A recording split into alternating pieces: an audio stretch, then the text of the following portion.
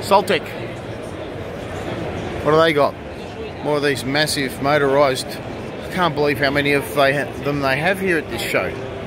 I'm not going to build solar farms. But anyway, there they are. What else they got? That's it.